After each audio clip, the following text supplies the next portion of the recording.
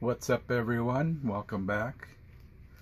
Um, this is going to be the Dallas Card Show review and um, it was pretty easy to park on Friday. There was a big uh, celebration for Texas Rangers winning the World Series.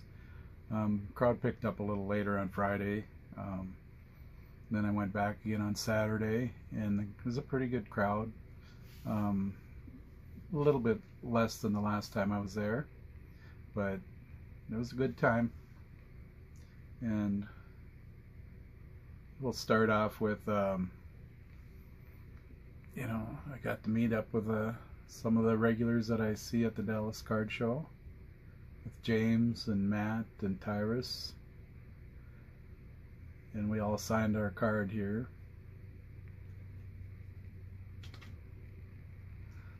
First item I picked up from picked up from the table that James is working. It's a 1951 Stan Musial Wheaties card.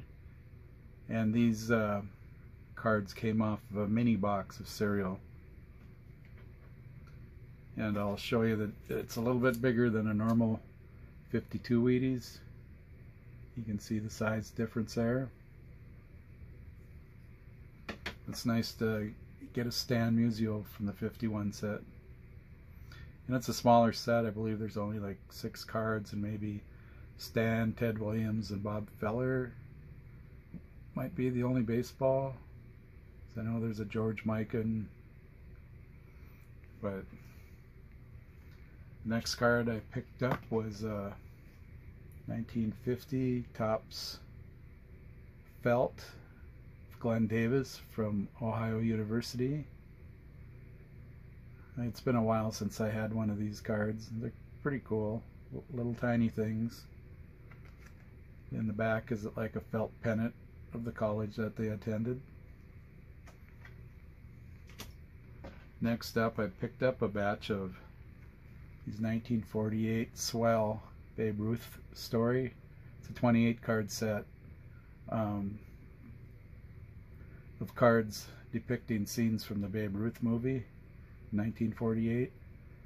And I did pick up six cards. Here's one with uh, William Bendix, who played Babe Ruth in the movie.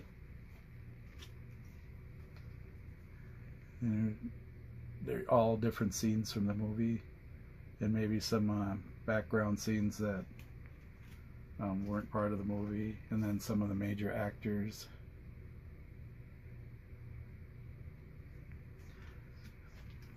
They were in such good shape. I had to pick them up, and the price was right. Got it from a friend of mine that yeah he he advertises himself as the Babe Ruth collection. And he's out of Kansas City. He's a really good guy to deal with. Really friendly guy.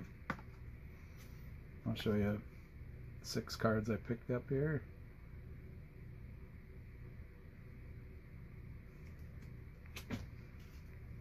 The backs. Swell, bubble gum, Philadelphia chewing gum, and then whoever the card is, Claire Hodges, played by Claire Trevor, or vice versa, I'm not sure. Can't remember. The next group of cards are 1969 Topps Decal they were inserted in packs of 69 cards. There's Hank Aaron. Guy had a group of them and I didn't want to just pick out a few. So I just asked him what he wanted for the whole group. There's a Reggie Jackson from his rookie rookie year. And here's the double bonus of Reggie Jackson again. There's two Reggies in the group. And of course I had to get my guy, Harmon Killebrew. And I also got doubles of Harmon Killebrew. When I get doubles of players, it's pretty easy for me to trade them away or sell them or get money for more cards. Here's Mickey Mantle from 69 his last year was 68, so is this a Playing Days Mickey Mantle? And of course, uh, Say Hey, Willie Mays.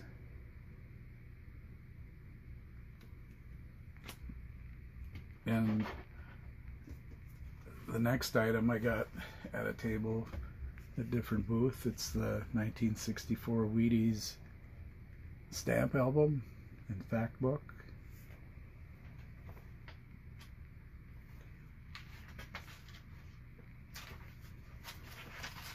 And the first thing I do when I look at these is I look to see what kind of condition the Jim Brown is in.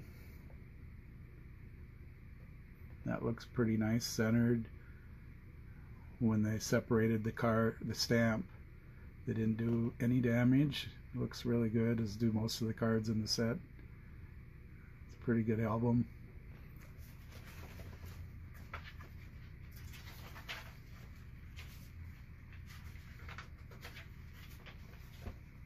There's the Johnny Unitas. That looks pretty good too.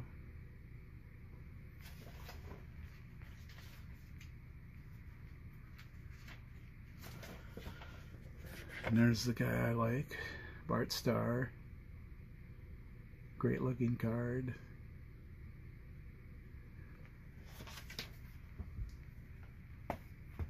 And another another cool item I picked up was this 1963 Post Cereal box back panel. Main reason I picked this up was for the Jim Kaat.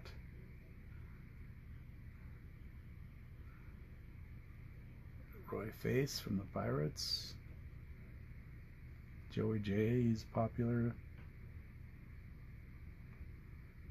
Haven't decided yet whether I want to send this to PSA to get it slabbed or not. And the next uh, next batch I got from uh, Mike Moynihan from the basement. These cards are from the basement collection. And um, had a real good time talking cards and going through stuff at their table. It's a real good group. He had Andy and Garrett there. Just a great time. And I'll show you a picture of them afterwards. I was taking the pictures and I took like three pictures and finally I was done taking pictures and they're standing there, all three of them smiling finally. So I missed that. That would have been a good picture. So here's a exhibit card, 1922 Joe Bush exhibit card.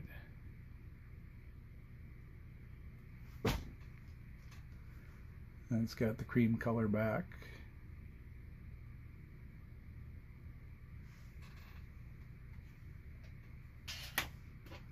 Here's the first year of exhibit cards. Shanks. Infielder for the Washington Senators. So he's the Minnesota Twins franchise player with when the Twins moved they from Washington to Minnesota. And those are from the basement collection. Now go into my miscellaneous exhibit folder. And this is probably the nicest card I got from Mike. Um, this will be added to my exhibit set that I'm working on. This will be number 14 team card out of 23. You can see Jackie Robinson there. Roy Campanella up in the back row there all the other famous Brooklyn Dodgers, the Bums. And it was printed in 1950. You can see the an exhibit card on one side, cream color back. Just appreciate the deals that Mike gave me. I also bought a bunch of uh, bunch of uh, Wilson staff photos and some pins and some other miscellaneous items. And then I was looking at this Ken Hunt pin, and Andy and Garrett said, "Here, um, we're going to make an executive decision and just give this to you." Because um, Ken Hunt is from Grand Forks, North Dakota, and uh, I guess I helped those guys out when I was going through the value boxes or the miscellaneous box that they had on the table. I was just having a good time. Um, glad that I could be of service. And this is between 62 and 63. So that's when Ken Hunt played with the LA Angels. Love that hat. And the last item was a deal I made with the card story. Um, Matt wanted some Warren Spahn proof cards I had, and he had this Harmon Killebrew Pittsburgh exhibit that I wanted.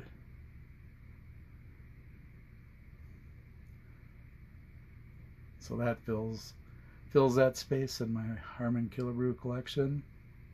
I want to thank Matt for coming down and making the deal with us. It was fun, fun chatting with them guys, walking around the show a little bit. Um, just a great time at the Dallas Card Show. And I'll show a few pictures of some of the items that I saw at the show. I didn't purchase, but I thought they were pretty cool. And uh, saw a picture of uh, of the uh, basement collection table and Mike and his group. Um, so thank you everybody for watching and hope you all have a great day.